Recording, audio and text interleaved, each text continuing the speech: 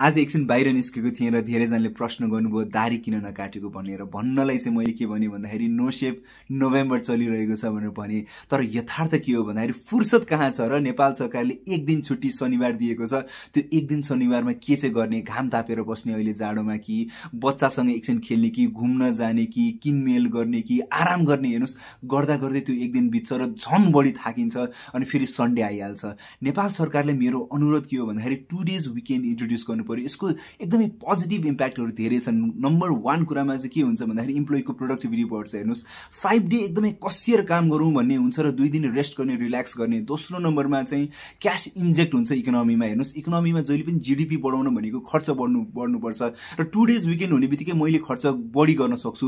मैले किनमेल बढी गर्न सक्छु अथवा म घुम्न जान सक्छु। म अहिले काठमाडौँमा छु भने म पोखरामा जान मेरो लागि चाहिँ समय भयो। मैले छुट्टी लिनु परेन। टु डेजमा मेरो इन्टरनल टुरिज्मको पनि डेभलप भयो र मैले बढी पैसा चाहिँ मैले खर्च गर्न सकेर के भयो भन्दाखेरि चाहिँ इकोनोमीमा पम्पिङ भयो। भनौँ न ओभरअल एक्टिभिटी बढ्यो।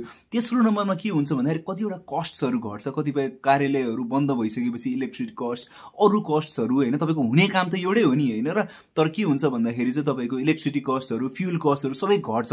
र हामीले चाहिँ प्रोडक्टिभिटीलाई चाहिँ के को टर्म्समा चाहिँ हामीले कम्पेयर गर्नुपर्छ भन्दाखेरि नम्बर अफ आवर्सको होइन कि what we have accomplished every week कतिपय कार्यालयहरू त हामीले शनिबार आइतबार दुई दिन खुल्ला राख्न सक्छौँ स्टाफ रोटेसन गराएर।